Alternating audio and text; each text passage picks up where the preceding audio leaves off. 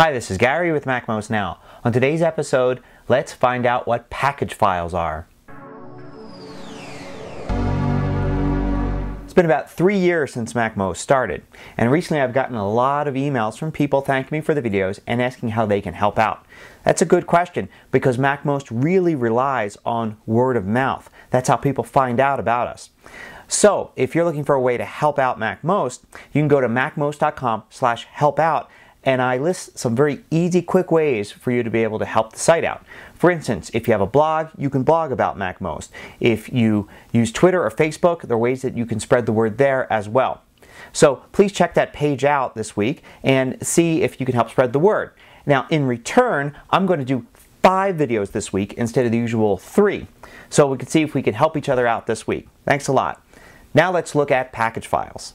So what is a package file? Well, think of it as something halfway between a folder and a disk image. So a folder is a collection of files and you can open it up and easily see what's inside. A disk image is a single file on your drive that represents kind of a virtual hard drive. You can mount it and then see all the files inside it, just like it was an external drive or flash drive or something. And then you can unmount it and it becomes a single file again. A package file is kind of something in between. It's like a folder, but you can't easily see the files inside it. Now, one package file you may come across is your iPhoto library in Snow Leopard. So if you go into your user folder in Pictures, then you'll see iPhoto library, and you click on it, and you'll notice it's not a folder. You can't actually look in it like you could in previous versions of iPhoto. So, how do you see your photos and content in it? Well, if you control click or right click on it, you have the option to show package contents. This will open up a new Finder window. It looks like a normal folder and it shows you what's inside your iPhoto library. Just some normal files. Matter of fact, it looks similar to the iPhoto library folder that you may have seen in earlier versions. And you can see all the different stuff there and you can dig in and look and find your photos, things like that. So why didn't Apple just make the iPhoto library a regular folder?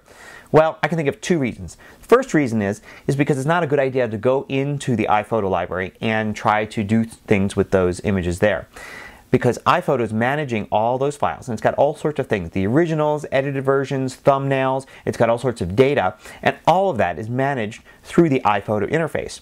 If users can go in and easily move those files around, it's going to confuse iPhoto and you're going to end up with problems. Images it can't find, things it doesn't know where they are, that kind of thing. So, being a package file rather than a folder. It still gives you access to these things if you want them, but it's kind of a good reminder not to mess with them. A second reason is that files inside of a package file are not searchable. Now, when you search in Spotlight for a photo, you're going to come up with those photos because you come up with iPhoto items in Spotlight searches.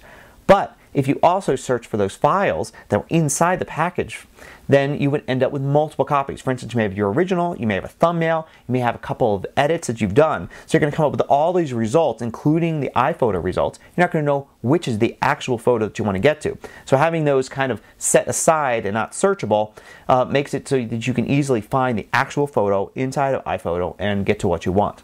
Now another common use for a package file is as an installer. So you download some software from the internet, from a third party or from Apple, and sometimes it'll come as a PKG file or package file of some sort. And it's basically the same as what you've seen with your iPhoto library. You can actually right click on it and show package contents and see the files in there. But the package file is smart enough to know that if you double click it, it will run the installer that's part of the package file, take those files out of there and properly install them. In those cases, you don't really want to mess with a package file. Although occasionally I found it useful to look inside a package file, perhaps for a document. Sometimes there's documentation, PDFs, things like that in there that I can get to and read more about the product before I install it. But this is rare. Usually you just want to go and use a package file as a standard installer.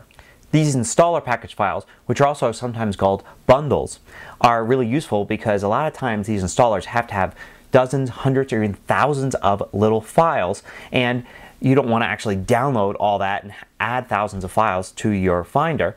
So it's nice to have them all just bundled up in one little package file for you to install. So I hope you found this useful. Till next time, this is Gary Rosenzweig with MacMost Now.